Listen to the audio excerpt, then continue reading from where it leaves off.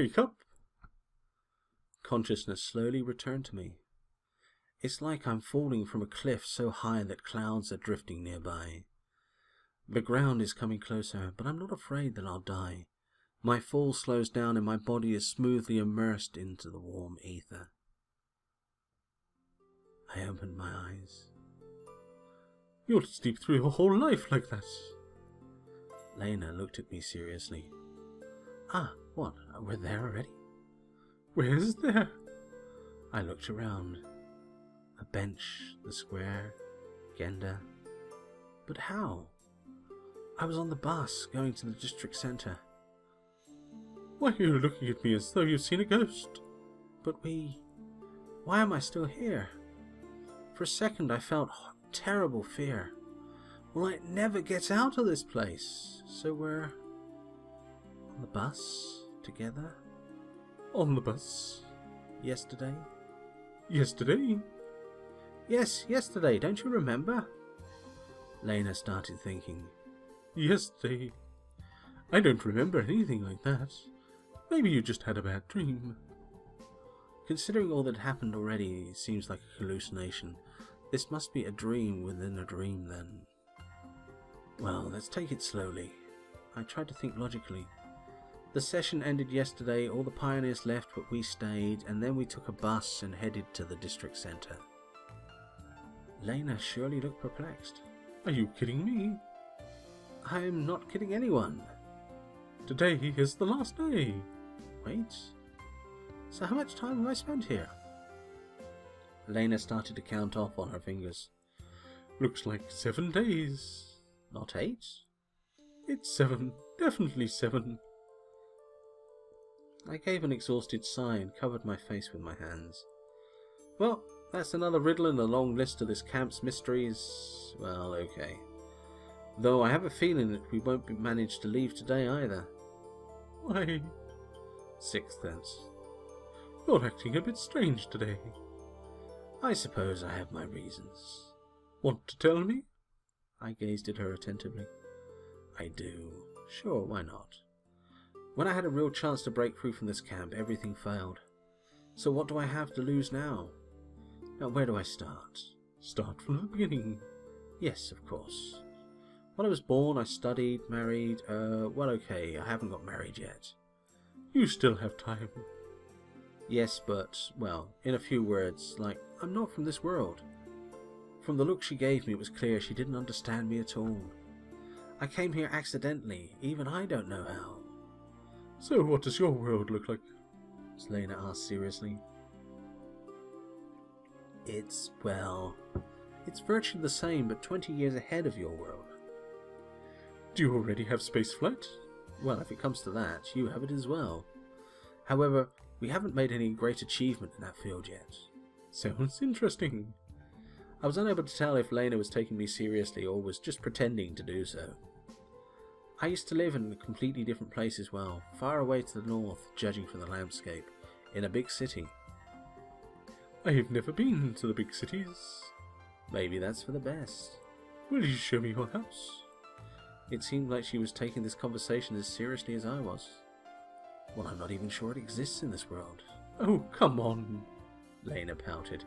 Well, sure I will. So how'd you get there? One evening I took a bus, Route 410, and woke up here. I don't know anything more than that. The 410 route? That's the one that stops just outside the camp. Yes, but my 410 travels in another place and time. Are you planning to return? Lena said, and I noticed a note of unhappiness in her voice. I have no idea how to. And if you knew? You're asking tough questions. What's wrong? Nothing but. You see, I only just recently started to adjust to being here. The first hours in this camp were such a shock for me that I didn't know. It's okay. You still have time to think about it. Time to think? It seems that even if Lena believed me, she considers this whole situation just a typical inconvenience and nothing more. Anyway, it's not up to me. Possibly even if I do want to stay. You see, the one who brought me here can take me back as well. I believe that any event in a person's life has a reason. Therefore, you are here for some reason. Maybe. And if you haven't returned, you must be needed here. Well, I can't rule out that interpretation. Hey, time to pack your stuff. The camp leader's voice sounded from afar. Hear that? I don't have much to pack. But I do. So meet you near the bus.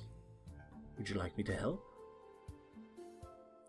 Thanks, but there's no need. Lena smiled and ran off towards her cabin. I remained sitting on the bench trying to cope with the shock. My thoughts were still in chaos, one theory replacing another. On one hand, me being unable to get out of this camp isn't all that odd compared to me finding myself here in the first place, but... What now? What am I supposed to do? Is there any chance that I can leave the camp if I try again? Anyway, what's the point in being nervous? By now I know perfectly well that absolutely nothing is up to me. Maybe I'll just have to sit back and enjoy the ride. I couldn't help smiling, especially now when I have an additional reason not to be in any hurry to leave. And that reason is Lena. Maybe she's right and I'm here for some reason. In the end, even if I can't narrow down the possible explanations for my situation to a reasonable minimum, there would still be a thousand and one. And if I keep exhausting myself analysing them, I'll just go mad. Maybe it's time I made a choice. Maybe this world is not so bad after all, especially since for the first time in a long time I have something to live for. It's still a vague something, but I have it. It exists. And now I have the power to not simply hold it, but to develop it into something bigger. With such thoughts, I stood up and started walking to Olga's cabin in order to pack my humble belongings and leave the Sovyonok pioneer camp forever.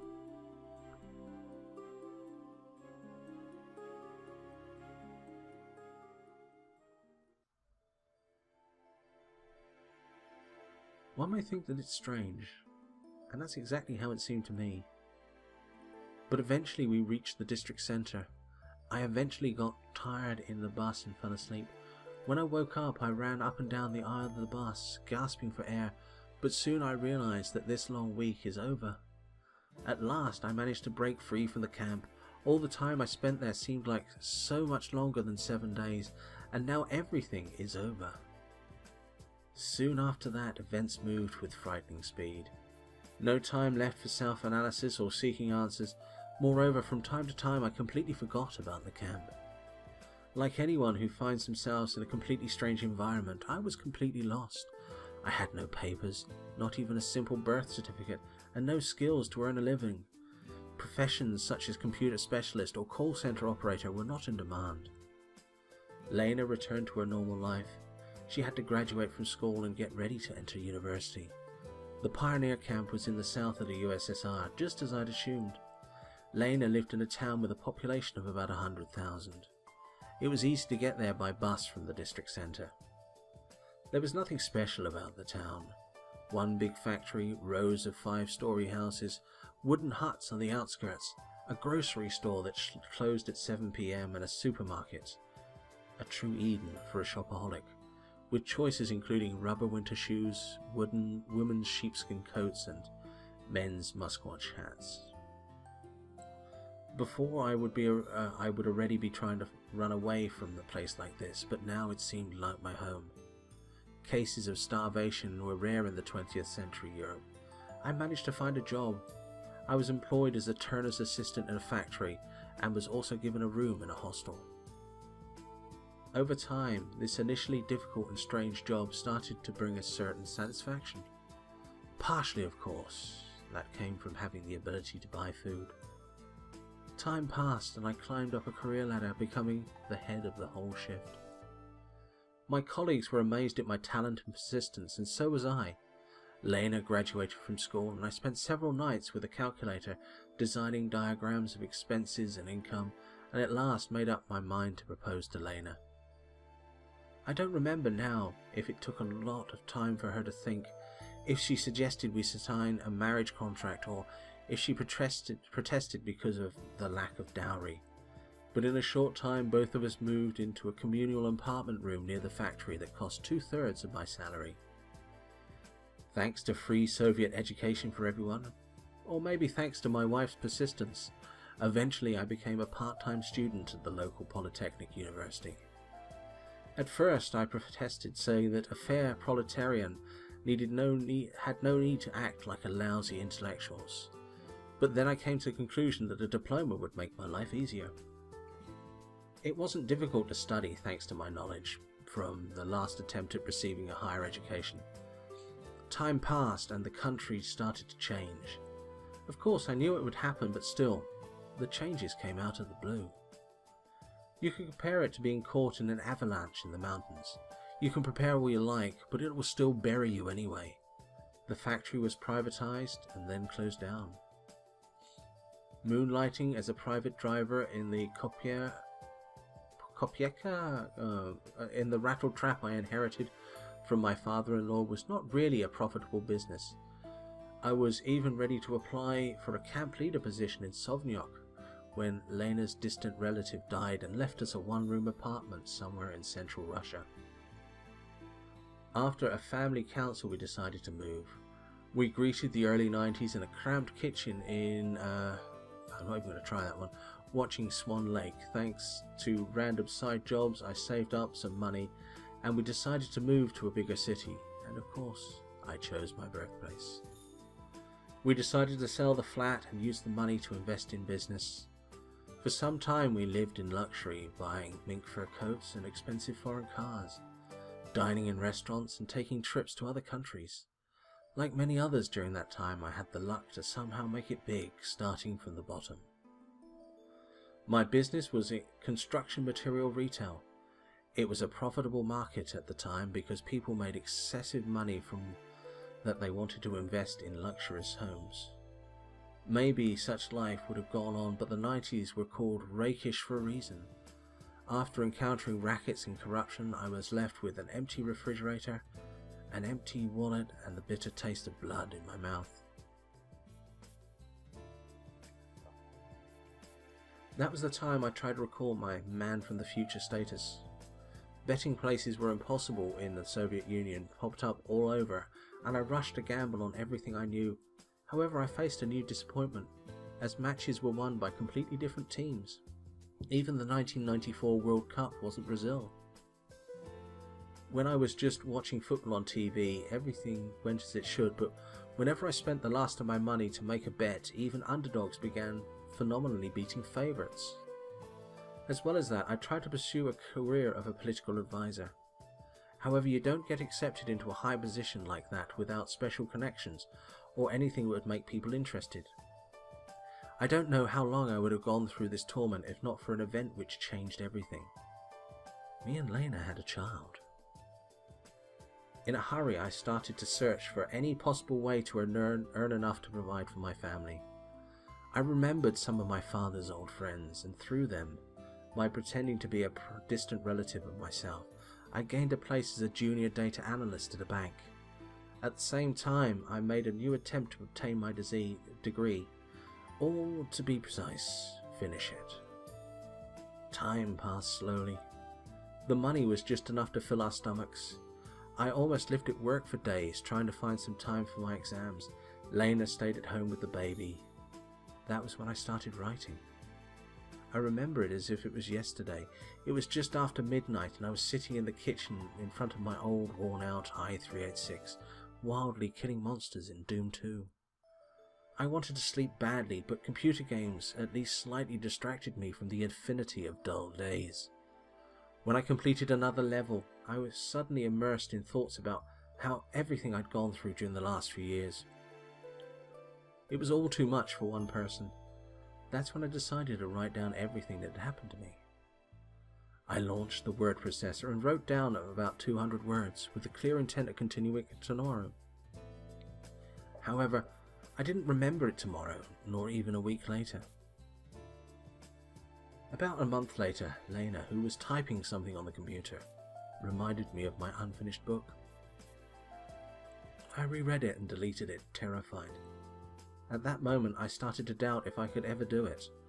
After all, it was an entire epic novel and I wasn't even able to string two sentences together. In addition, it's not easy to write about yourself. Creative work put on the back burner for now, I celebrated the arrival of the year 2000 as a certified specialist with department head duties. While moving to another apartment, I found my old i386 amongst the trash that was to be thrown away, and I remembered my intention of writing a book about my life. I laughed. How stupid! However, after some time, I opened up my laptop and made a sort of draft of a short story about a young man without a definite occupation or aspirations, who finds himself on a different planet. The style, orthography, and punctuation, as well as the idea itself, were matched well to such a silly plot. I showed the story to my wife. She laughed, but said that it was well written and advised me to continue. About a year later, the drawer designated for holding my literary works was full, I found that very odd because I was spending entire days at work, sometimes even during the holidays, and I tried to spend all my available free time with my family. However, that's what happened. Around the time I decided to publish my short stories. As with any other beginner's work, most of mine were rejected, but a couple of them were accepted, including my first work. I was over the moon. Of course, I was paid nothing, but my works will be read, meaning that someone will find them interesting. Time passed. We had a second baby now. During my spare time, I slowly wrote a novel. No, not about my life or the pioneer camp. I decided not to touch on those themes ever again. Everything that happened years ago seemed to be the will of God, whose charity should not be tempted. Who can tell what would have happened if I hadn't woken up on a bus near the Sovyonok Camp 8? A year later, the novel was completed. After I'd known, annoyed almost all known publishers, I managed to reach agreement with a small company. The editor, an elderly man wearing a ragged tweed jacket and thick spectacles, which almost rubbed against his magnificent grey moustache, told me, Your level is average, young man. Average, yes, but the idea itself is interesting. Oh, interesting, yes. Well, you need more practice and, uh, more reading, yes. I remembered these words for the rest of my life. I dispensed the copies that were sent to me as part of my royalty agreement among my friends and colleagues. Lena, who read my novel only after it was published, told me that she really liked it. Mostly out of a desire not to upset me, I guess. Time passed. The calendar days were unstoppably approaching that day when I was pulled out of my usual world and thrown into this life, starting from my mysterious pioneer camp and now ending up here. Now I am a successful writer, at least according to the number of copies my books have sold. I have a wonderful wife and two children. My life has turned 180 degrees. Midnight tonight is the start of something new. Tomorrow is the day I was waiting for for so many years. What are you thinking about?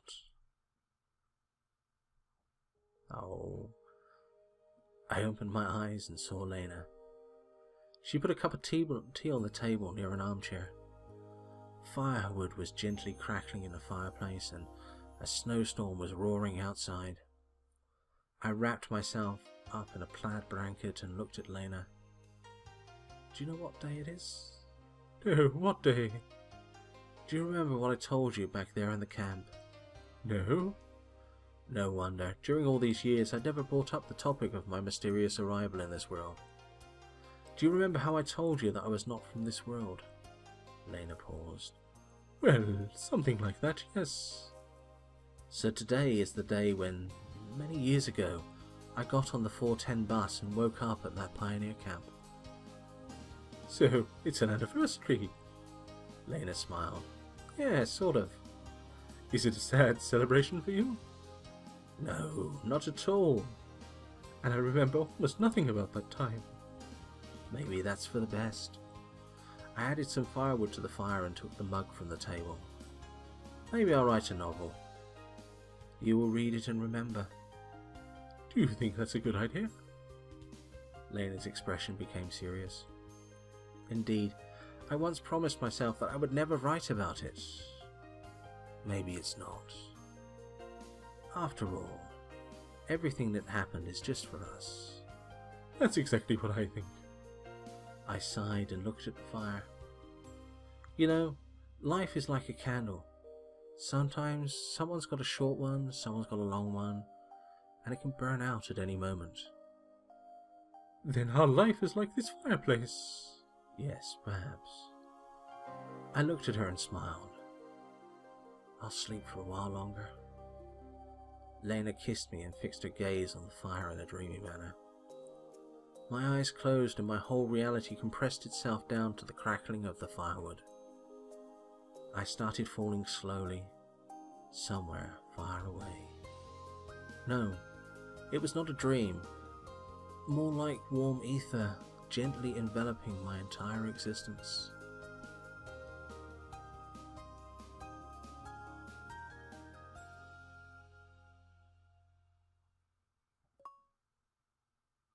Yes. Every story has its beginning and its end. Every story has its own outline, synopsis, contents, key points, a prologue and an epilogue. And there is no book which, if you read it again, would not reveal any new details you didn't notice before. Every story has its beginning and its end. Almost every.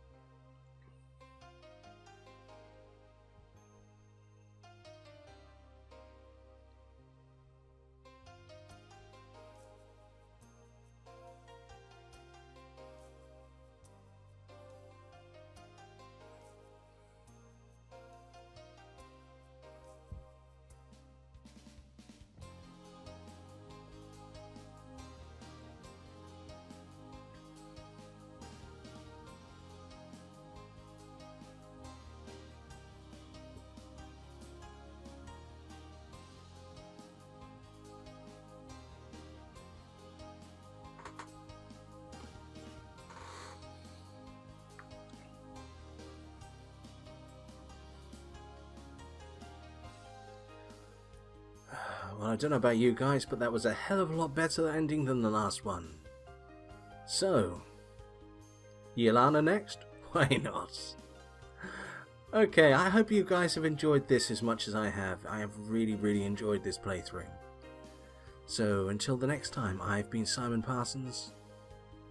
He's been... He's been Semyon. Thank you, and good night.